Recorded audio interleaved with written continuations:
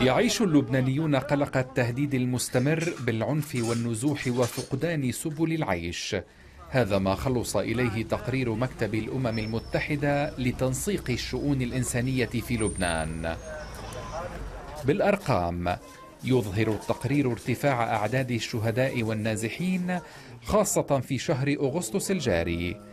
حيث أحصى ارتفاعا في عدد النازحين بنسبة عشرة ألاف نازح جديد في غضون الأسبوعين الأخيرين. أي مع تعمق الضربات الإسرائيلية التي طالت بلدات قصفت للمرة الأولى في الأيام الماضية.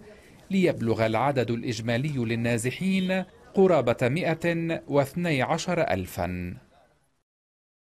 ويحصي التقرير سقوط 32 شهيدا منذ الثامن من أغسطس الجاري من بلدات الكفور وطير حرفة والظهيرة ومرجعيون وعيت الجبل ومركبة وغيرها.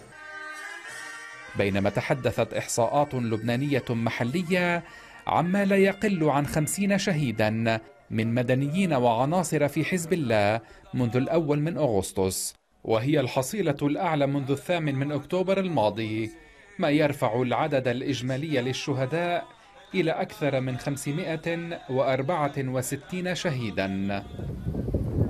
احتمالات التصعيد لم تغب عن التقرير الأممي إذ ذكر بأن المنظمات العاملة في المجال الإنساني في لبنان قامت بتطوير خطة طوارئ تتناول سيناريوهين. الأول وهو صراع غير منضبط قد يؤثر على مليون شخص.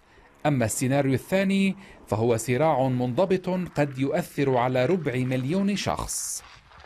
التقرير دق ناقوس الخطر محذرا من أن عدم زيادة التمويل الإنساني وتحسين الوصول إلى القرى الأكثر تاثرا بتبادل النيران فإن العديد من الاحتياجات ستبقى غير متاحة.